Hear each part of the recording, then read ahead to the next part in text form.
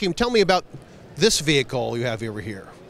Well, here at the Polaris booth today, Sydney, we've got kind of the whole spectrum of what we would call the ultralight vehicle niche. It's the ability to deploy vehicles with light infantry or air mobile forces and provide them mobility once they get to the ground. Which, which may mean kick them out of the back of an airplane with a parachute. Could very well mean that, exactly. Uh, this is the DAGOR vehicle. Robust suspension when you land, I imagine.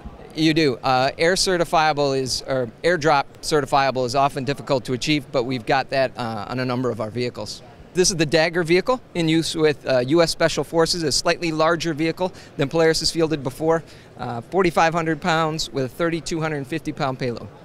So, how many fully armed Special Forces guys can carry in that carry? We've got four seats and and one sling for the uh, weapons mount personnel, individual, and then we've got seats in the back should they need to put in additional people just to get them where they need to go. And these are pretty serious tires. I kick them, I might break my foot. All part of the suspension. You uh, design the suspension to integrate both the tires, the uh, A-arms, the geometry, and the shocks. So all of that plays into how off-road mobile this vehicle is. Now, is this one of the offerings for the Army Ground Mobility Vehicle, ULCV? This certainly fits into that realm, exactly. Uh, it's certainly what we would be targeting for that sort of market.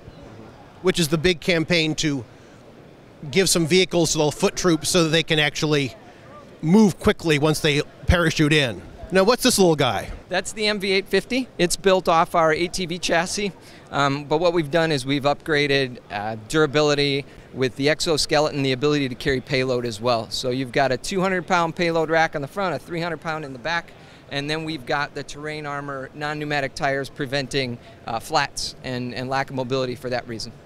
And this is also in service with special operations, bunch of allied countries? Both U.S. and worldwide, yes. But your new baby, which you're rolling out at this show, is this diesel powered vehicle. So why is diesel a big deal, a big difference? Well, there's kind of two defining characteristics of the vehicle, and you brought up one of them, which is exactly the fact that it's now JP8 or diesel capable.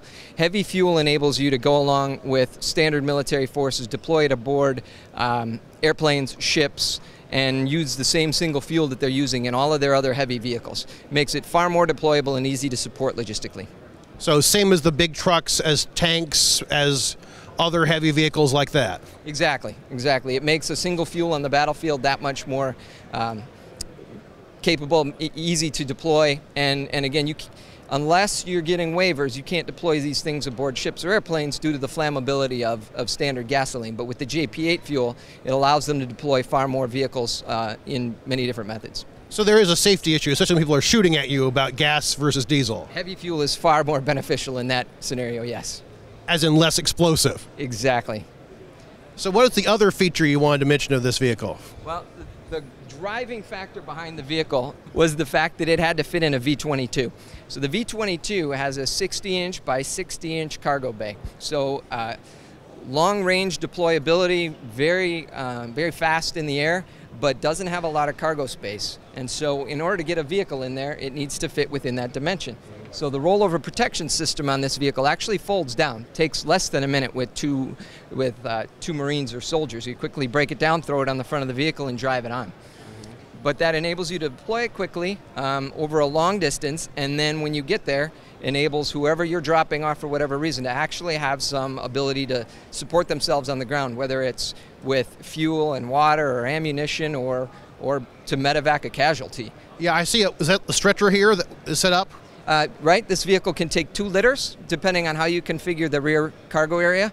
Um, and you take those longitudinally, which makes it far easier on the patient and on, on whoever's treating them to, uh, to keep them safe. So their back, their spine is in line with the, with the direction of travel. Yes, exactly. So you can get your hurt guys out of there in a hurry when a way you couldn't with just foot troops. Exactly. Taking far less people out of the uh, out of the fight to treat the one or two individuals who are casualties. And you could use this to scout out or to just move guys quickly to a new position. Well, that's exactly right. This vehicle, eh, that's the huge benefit to this vehicle is it's completely modular. You can do anything you want with it, whether you're relocating, say, a, a mortar position or a heavy machine gun, um, or moving troops, or quickly relocating, or just going to get fuel and water. This vehicle um, has been found to just be extremely useful for the foot soldier who's used to carrying everything on his back from a mortar plate to a machine gun. Yeah.